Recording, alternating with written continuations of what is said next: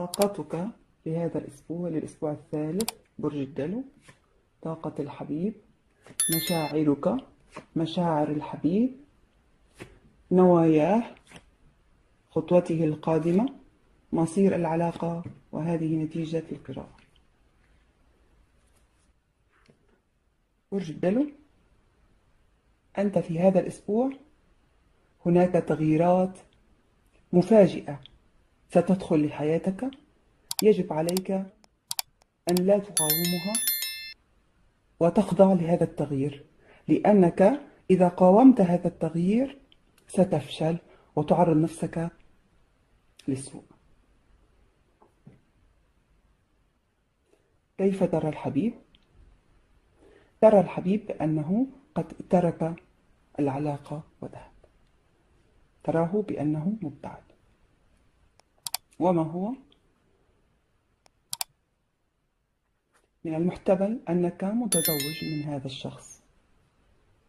محتمل أنك إما متزوج وإما كنت معه في علاقة طويلة.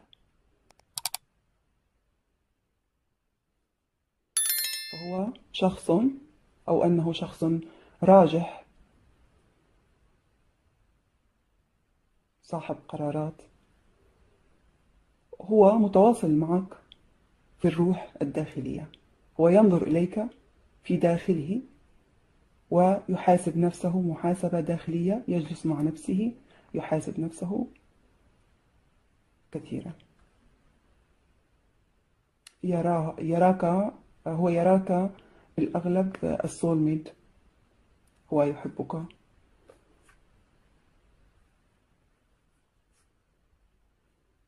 أنا أظن بأنه في علاقة. فلنرى. الطاقة العامة لك لهذا الأسبوع. هناك تغييرات فجائية ستدخل إلى حياتك.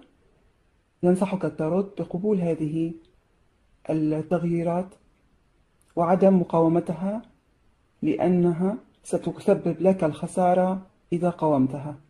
فاقبل هذه التغييرات بشكل مبدئي. لعل الظروف تتحسن لاحقا. كيف ترى الحبيب؟ أنت تراه مبتعد. تركك ترك العلاقة أو ترك الزواج وابتعد. من المحتمل بأنكما كنتما متزوجان. هناك كان كان هناك أو علاقة ارتباط قوية منذ زمن وهذا الحبيب ترك هذه العلاقة ورحل. وهناك قرار مصيري بالانفصال لنرى.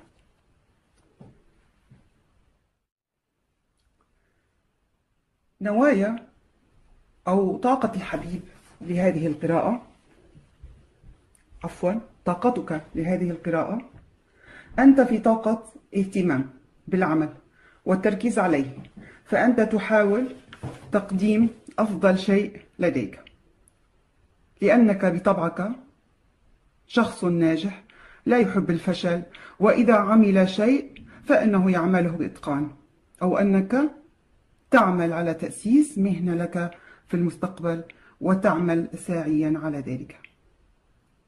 فالجانب العامل العملي يأخذ حيزا كبيرا من حياتك.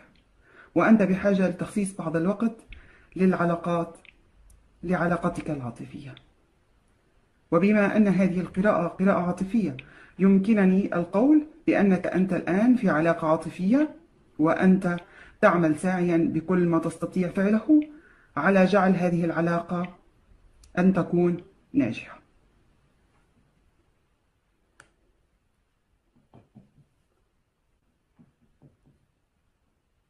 طاقة الحبيب. هي الثلاثة نقود.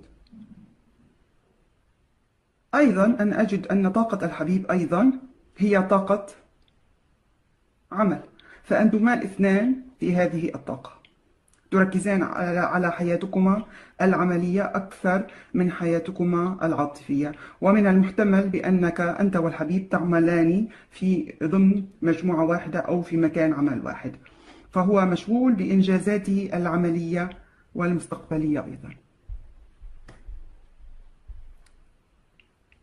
طاقتك أو مشاعرك ما هي مشاعرك؟ أنت تشعر بالوحدة مع نفسك وروحك وتركز على احتياجاتك الجسدية أو الشخصية. وتشعر بالميل لأن تكون وحيدا منعزلا. وتركز على مستقبلك المادي. أيضا. فأنت من المحتمل بأنك تريد تحسين وضعك المادي. هذه هي مشاعرك. مشاعر ابتعاد عن كل من هم حولك والتركيز على وضعك المادي. أنت مركز على وضعك المادي وهذا هو الحبيب. مركز من جهة على وضعه المادي. وسنأتي لنعرف ما هي مشاعره. مشاعره هي هذا التواصل.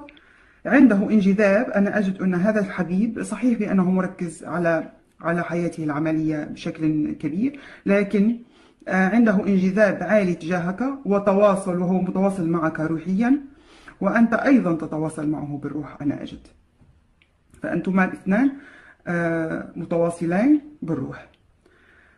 آه، فكلاكما أنا أجد كلاكما يحبان بعضهما البعض ولا يملكان الوقت الكافي للتعبير عن المشاعر. وأنا أرى بأن هذا الحبيب يفكر بك بشدة فهو يحبك كثيرا ويسعى بأن يطور العلاقة إلى الزواج. أما بالنسبة لمن ليس عندهم شريك عاطفي فأنكم آه، ستتعرفون بهذه بهذا الكارت على شريك عاطفي بشكل غير متوقع وسريع. وهناك فرصة لعمل جديد إذا كنت غير مرتاح في عملك وتريد تغييره. وهذا الكارت يدل على ذلك. نوايا الحبيب في هذه القراءة إعادة شعلة الحب لأن لأني كما أرى بأنكما منهمكان في منهمكان في عملكما كثيرا. فهو ينوي إعادة شعلة الحب بينكما من جديد وتجديد العلاقة بطريقة أفضل. فأنا كما قلت الحبيب عنده مشاعر فياضة لك وطاقة عالية وهو لا ينقطع عن التفكير بك أبدا. وإذا كان هناك أي تباعد فهو يريد إعادة العلاقة من جديد كما لو كانت كما آه، كما كانت في السابق. مع كثير من الحب والشغف. هذه هي نواياه. أما خطواته القادمة الزواج طبعا. بكل وضوح وصراحة هو سيطلب منك الزواج. مصير هذه العلاقة مصير هذه العلاقة. أنا أجد أن هناك عندما يكلمك بخصوص الزواج أنا أجد أنكم أنكما ستتعرضان إلى الخلافات والمشاكل بينكما بسبب إما علاقة ثلاثية هذه إما أن تكون بسبب هذه العلاقة الثلاثية التي كانت عنده في الماضي. فاحتمال أن يكون الحبيب في علاقة مع شخص آخر غيرك أو أنه متزوج بالفعل أو أنه سيحصل بينكما خلافات وفي هذه الكارت تدل على خلافات وعدم تفاهم لأن كل واحد منكم يريد أن يفرض آراءه على الآخر وهو يحب أن يكون هو المسيطر أو وجود صراع داخلي يجب عليكما تجاوزه. هذه ثلاث احتمالات إما وجود صراع داخلي يجب عليكما تجاوزه بينكما عدم ثقة أو عدم تفاهم أو عدم تفاهم على شيء معين سيحصل بينكما ويريد كل منكما فرض السيطرة على الآخر أو بسبب علاقة ثلاثية كانت عند الحبيب في الماضي. هو نواياه واضحة. هو يحبك كثيرا وأنت تحبه وأنتما متواصلين مع بعضكما بالروح. وهو يريد منك الزواج بشكل واضح وصريح وإعادة شعلة العلاقة كما كانت معك في السابق. ولكن هناك اختلاف في وجهة النظر بينكما وخلافات على شيء ما على آه احتمال آه أن يكون شيء خاص بالزواج أنت أنت ستريدين كذا وأنت أو تريد كذا. ولا أنا أريد هذا ولا وأنت لا تريد هذا. كلاكما يريد يحب السيطرة وفرض الرأي على الآخر. فالنصيحة هي النصيحة تقول لك اتفقوا مع بعضكم. احكموا بالعدل اتفقوا مع بعضكم اجلسوا في جلسة محاكمة وقول وقل لها ماذا تريد منها وهي ما تقول لك ماذا تريد أنت منها واتفقوا. فبدون الاتفاق بدون هذا الاتفاق وهذه الجلسة التي يجب أن تجلسوا مع بعضكما وتتفقان على شيء معين لن يحصل هذا الزواج وهذه العلاقة وسيصبح فيها خلافات. اتفقوا وستكون الأمور كما تحبون وترضون. شكرا لكم على مشاهدتكم لهذا الفيديو وأرجو أن أرى